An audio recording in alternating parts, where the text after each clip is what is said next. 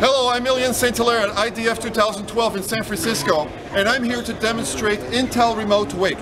So this technology is built into this computer. This is a computer with Remote Wake enabled in the platform. And what happens is that the network adapter is still on into this uh, sleeping computer. The network adapter is sending packets periodically to a uh, Intel cloud service and so the Intel Cloud Service knows that this computer is in a wakeable state. It's available on the network if somebody needs uh, to wake it up.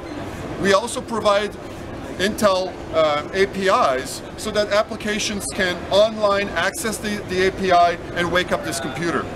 So we have a sample website. It's called meshcentral.com. This is only a sample of, of uh, you know, an application that could use this technology. But with meshcentral.com, you can see the status of the computer. So throughout the, the, the today and last uh, and yesterday, we were turning on and off the computer. So you can see the status.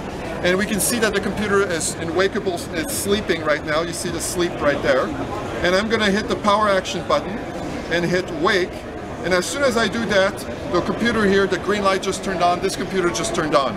Now what happened is that this website communicated with the Intel service and uh, sent a uh, message saying, please wake up this computer.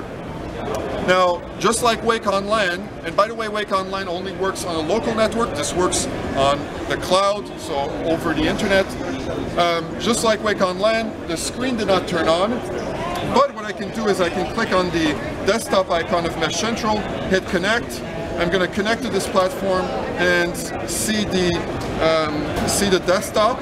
And if I move my finger across the desktop, the screen will turn on because I basically moved the mouse.